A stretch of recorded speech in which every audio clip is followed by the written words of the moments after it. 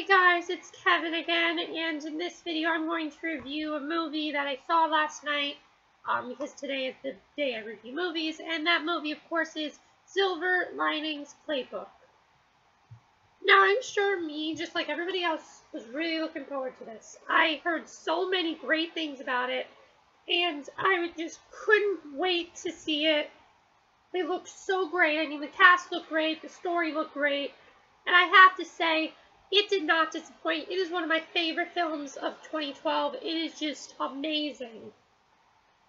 Um, now, some people compare it to The Perks of Being a Wallflower. It is nothing like The Perks of Being a Wallflower, honestly. Perks of Being a Wallflower was about a boy who had a secret hidden in him and he was a social outcast. But this is a completely different story. This story follows Pat, who, he's lost everything. His house, his job, his wife, and he's just being released from a mental institution He's been there for probably a lot, uh, like most of his life. Um, and he's now living with his family, Robert De Niro and Jacki Weaver. Um, and um, he's trying to re, um, rekindle with his wife, but his wife wants absolutely nothing to do with him because something went on between the two of them. You don't really know what happened. The movie doesn't really explain anything to you. It explains things as it's going on, but you don't really know what happened between him and his wife. Um, and he just wants to try to start over and try to be find a silver lining because he has bipolar disorder. And he tried to find a silver lining in everything. And along the way, he meets Tiffany, who is pretty much, I'd say, a sex addict. Um, she has just, she is now, um, is it divorced? No.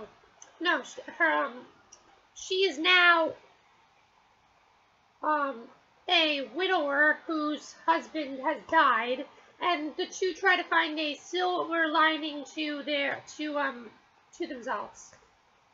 And uh, along the way, uh, Robert De Niro likes um, this uh, football game. The reason it's called Silver Linings Playbook is because, well, I'll just have to explain to you. But overall, I love Silver Linings Playbook. Let's now get into the performances. I thought Bradley Cooper was definitely really, really good in this. Like, he showed some really big scenes. There are some big scenes with him with bipolar disorder. It's amazing to watch, and it's not hard to watch because Jacki Weaver and Robert De Niro, I mean, Jacki Weaver is really the comedic part of this movie. She has some very funny lines. Um, like, for example, when Bradley Cooper is trying to have a conversation with his parents, and she's like, it's 4 o'clock in the morning. I want to go back to sleep. That was funny. Uh, Robert De Niro was also funny. He kind of shows some OCD tendencies, but yeah. Uh, Bradley Cooper was great. I definitely think he deserves that Oscar nomination that he got, but the best one, in my opinion, was Jennifer Lawrence. Whenever she was on screen, she was incredible. She definitely deserves that Best Actress nomination that she got because she is incredible in this. She is just, um, just she's just so great in this, and she's such a great actress. I mean, I've loved Jennifer Lawrence ever since X-Men First Class. I've loved her ever since then, and she just gave such a great performance in this. It's definitely her best performance. Um, so yeah, I really loved her in this. And then we have Robert De Niro, who was also really great. I really felt like he should have won for Best Supporting Actor at the Oscars because he did a great job in here. I mean, he has, again, he has some OCD tendencies, like, he wants the remotes lined up a certain way um, because he's the one who's always into football. He wants these um, the Eagles to win. And I think, you know, he wants the Eagles to win. Bradley Cooper wants the Eagles to win. Jennifer Lawrence is actually in this dance contest and wants Bradley Cooper to uh, um, be in the dance contest. And Jacki Weaver, as I said, kind of provides some, um, um, um, I can't talk. She kind of provides some humor to the movie while she also provides emotion. All of them do. All of them provide humor and emotion. And Chris Tucker, who I absolutely love. I prefer him over Chris Rock because I love the Rush Hour movies. I thought he was great too. Chris Tucker was really great. Definitely a different part for him.